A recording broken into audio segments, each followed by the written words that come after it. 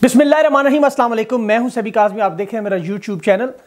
नाजीन वादी पंशीर से बड़ी अहम इतलात, बहुत बड़े बड़े नाम और बड़ी बड़ी हलाकतें, इस वक्त जो मकामी मलेशिया वहाँ पर लड़ रही है, उन्हें शदीद तरीन नुकसान है और दोनों तरफ़ से, तालिबान की और मकामी मलेशिया की तरफ़ से दावे किए जा रहे हैं और मुख्तलिफ़ मतजाद खबरें भी इस वक्त गर्दिश में जिनकी अथेंटिसिटी बहुत मुश्किल कहा। मैं खबरें आपके सामने रखता हूँ सबसे पहले जो बात की जा रही है और ये दावा किया जा रहा है मलेशिया की तरफ़ से कि जी पंशेर में उनकी जो सीनियर तालिबान कमांडर है और पंशेर ऑपरेशन के इंचार्ज हैं, कारी फसीउद्दीन, उनके बारे में ये दावा किया जा रहा है कि वो शहीद हो गए।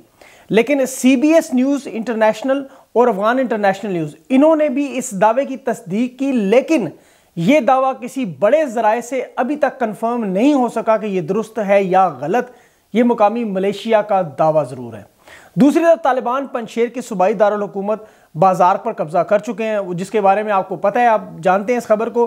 मकामी मलेशिया के जो तर्जमान है, फ़हीम दश्ती, और ये बड़े अरसे से मकामी मलेशिया और अहमद मसूद की तर्जमानी भी कर रहे थे, उनका मौकफ मीडिया पर बयान करते थे, ये इस मुकाबले में मारे गए हैं। गवर्नर हाउस और पुलिस हेडक्वार्टर, ये मुसलसल तालिबान के अभी तक कंट्रोल में है और मलेशिया इसको कब्जे को छुड़ाने की भरपूर कोशिश कर रही है, धकेलने की कोशिश कर रही है। तालिबान वादी पनशेर के अंदर मौजूद है। और बहुत से दोस्त इस बात का अक्सर पूछते हैं कि खबर की दुरुस्तगी या उसकी सच्चाई अथेंटिसिटी रिलायबिलिटी और उसका जो ऑथेंटिसिटी फैक्टर है सोर्स का तो याद रखें कि पंशीर एक ऐसा इलाका है कि उस वक्त वहाँ कोई भी मीडिया का नुमाइंदा मौजूद नहीं है कि जिससे वो आप अहम इंफॉर्मेशन हासिल कर सकें। इसलिए जो मुकम्मल इतलात मिल रही हैं, दोनों तरफ़ के दावे हैं, वो आपके सामने हैं। या तालिबान इस वक्त अपने कैमरे लेकर जाकर, अपनी फुटेज से, या मुकामी मलेशिया खुद अपने फुटेज बनाकर बीबीसी और सीएनएन बड़े इदारों को भिजवा रहे हैं। इस वक्त तक, लेकिन अभी तक जो नुकसान है, वो मुकामी मलेशिया को ज़्यादा हो चुका है। उनके जो अहम कमांडर हैं, जनरल वदूद ज़रा, उनके दूसरे कमांडर हैं, गुल हैदर खान मुनीब, अमीरी और फ़हीम दश्ती जो स्पोक्स पर्सन है, जिनका मैं अभी बता चुका हूँ, ये सारे इस लड़ाई में मारे जा चुके हैं।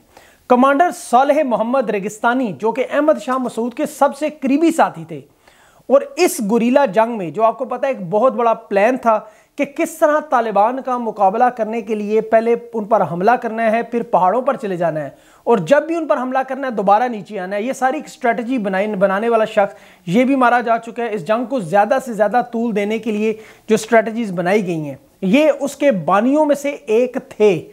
अब इस वक्त अमरुल्ला सालेह के बारे में बहुत सी बातचीत की जा रही है कि ये कहाँ है इस वक्त, कि बहुत से आपको पता है ये दावे किए जा रहे हैं कि ये मुल्क से भागा नहीं। ये कह रहा है, मैं वहीं मौजूद हूँ। लेकिन जो इतलात आती है, ये ताजिकिस्तान पहुँचा हुआ है और वहाँ से वीडियोस बनाकर लोगों को भिजवा रहा है, अपनी तस्वीर दिखा रहा है। और ये मकामी अफगान नेशनल, जो इंटरनेशनल टीवी है वहाँ पर, मकामी, उनकी रिपोर्ट है कि ये पिछले तीन हफ़्ते पहले अहमद मसूद के साथ मौजूद था। लेकिन उसके बाद ये, जब से पंशीर में तालिबान आए हैं, ये वहाँ से भाग चुका है।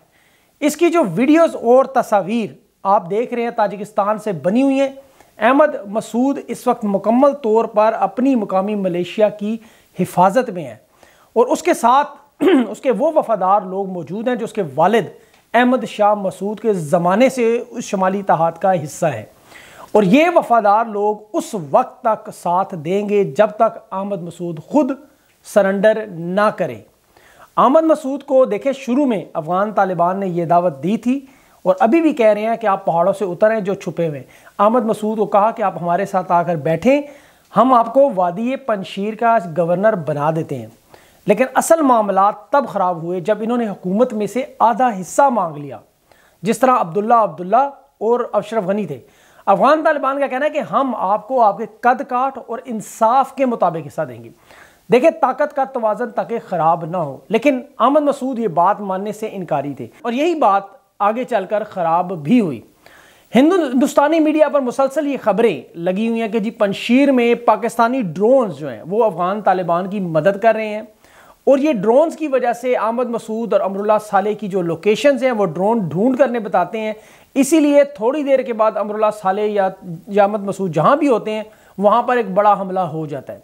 लेकिन अफगान तालिबान ने इन तमाम इल्ज़ाम को रद्द किया। उन्होंने कहा कि ऐसी कोई बात नहीं है, ये बिल्कुल गलत चीज़ है।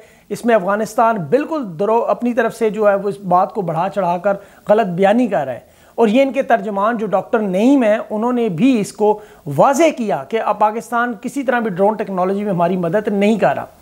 अफगान सबक वजी दिफा जनरल बिस्मिल्ला मोहम्मदी जो है, वो यहाँ मानने को तैयार हो गए कि अब ताकत के ज़रिए नहीं, बल्कि तकसीम करके जिसका जहाँ पर मैंडेट है, उसकी हुकूमत को तस्लीम कर लेना चाहिए।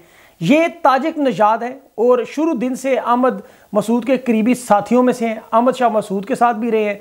इनकी बात को बड़ा वज़न दिया जाता है और अब ये फ़र्ज़ किया जा रहा है कि अब वो तमाम मुजाकर जो अहमद मसूद के पास लेकर जाने वाले तालिबान का वफ्त है, ये इसको कायल करेंगे। और ये शख्स बहुत अहम है क्योंकि मजाकरात ही आखिरी रास्ता है। इस जंग का, इस मसले का कोई हल नहीं। दोनों तरफ़ मुसलमान हैं और दोनों तरफ़ जो हलाकतें हैं, वो नुकसान है। अब अफ़गानिस्तान की हुकूमत बनने की बात हो रही है। जर्मनी इनको तस्लीम करने के लिए तैयार हो चुका है। और आप ये भी देख लें कि ये मॉडल बिल्कुल ईरानी मॉडल की बुनियाद पर बनाया जा रहा है। और उसकी बड़ी वजह अफ़गान तालिबान की ईरान से मुलाकात में ये तय पाया था कि अगर आपने इस्लामी अमारात अफ़गानिस्तान में क्याम करनी है तो उसके लिए आपको जमहूरियत, इस्लाम और ये तमाम लोगों को साथ लेकर चलना ज़रूरी है। फिर ये मॉडल तरतीब दिया गया था, जिसमें मुल्ला हैबत अखफनजादा जो है, वो सुप्रीम लीडर और मुल्ला गनी ब्रादर, जो कि सदर के तौर पर बाकी मजलिस शूरा बनाएगी। बिल्कुल इस ईरान के मॉडल की तरह। और उसमें आपको पता है, बड़ी अहम खबर मैं आपको बताता हूँ कि जिसमें अमेरिका ने पूरी कोशिश की देखें, पूरी अमेरिका की कोशिश थी कि अफगान तालिबान, अफ़गानिस्तान, बल्कि उम्मत मुसलमा में एक ऐसा फसाद छेड़ दिया जाए कि जो कभी ख़त्म ना हो उसकी लपेट में पाकिस्तान सबसे पहले आए। इसीलिए उन्होंने इस मसले को शिया सुन्नी मसला बनाने की बहुत बड़ी कोशिश की, जिसमें अफगान तालिबान की जितनी तारीफ़ की जाए, काम उन्होंने इसे नाकाम कर दिया। वो मजालस में चले गए, वो जो झंडे दोबारा उतारे गए थे, वो लगा दिए गए, उन सबको बताया गया। और सबसे बढ़कर मैं आपको बताऊँ, तालिबान के जो बानी, मुला उमर ये इनके घर कंधार में इनका जो घर है, उनके तीन घर छोड़कर वहाँ पर एक इमाम बारगाह मौजूद थी। लेकिन सारी ज़िंदगी वहाँ पर कभी कोई झगड़ा नहीं हुआ, कभी कोई गोली नहीं चली। मुला उमर हमेशा उनके साथ तावन करते रहे मिलजुल कर रहते रहे। और ये चीज़ साबित करती है कि अफगान तालिबान इस नज़रिए के कायल नहीं है।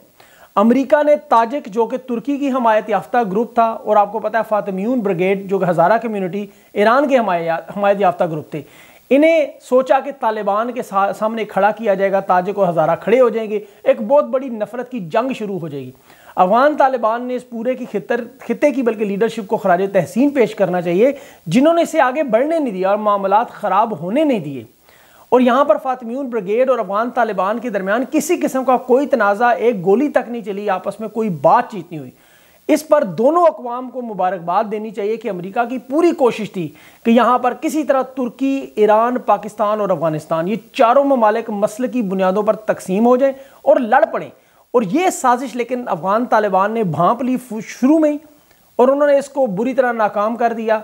और इसका क्रेडिट पाकिस्तान, ईरान सबको देना चाहिए कि जिस तरह ये आगे मामला बढ़ रहे हैं, कम अज़ कम अब ये एक बहुत बड़ा मसला जो बन सकता था। जिससे आपको पता है पहले भी पाकिस्तान फ़िरकावारियत की लपेट में आया ईरान आया सऊदी अरब आया, उसके बाद आपको पता तुर्की आया और अफ़गानिस्तान में अगर ये मसला शुरू होता तो उसका कोई इंजाम नहीं था। लेकिन अलहमदिल्ला ये मसला ख़त्म हुआ है। अब तालिबान आहिस्ता आहिस्ता अपने, देखें उनकी बड़ी मुलाकात हुई मुला बरदर की। आज दुनिया के बड़े बड़े लोगों से मुलाकातें हो रही हैं, जिनमें उनको फंडिंग भी दी जा रही है। उनके तमाम मामला को ठीक किया जा रहा है। यूरोप भी उनको तस्लीम करने को जा रहा है। तो इन मामला उनके लिए बेहतर होते हुए नज़र आ रहे हैं। एक पुरमन अफ़गानिस्तान की तरफ़ मामला जा रहे हैं। इस पर मजीद जो पंशीर वादी के हवाले से मालूम आती रहेंगी, वो आपको इंशाल्लाह ज़रूर अपडेट करेंगे। चैनल को शेयर, लाइक, सब्सक्राइब ज़रूर करें और बेल का बटन ज़रूर दबाएँ ताकि अगली वीडियो आपके पास पहुँचे। अपना खास ख्याल रखें। मुझे इजाज़त दें। अल्लाह हाफिज़।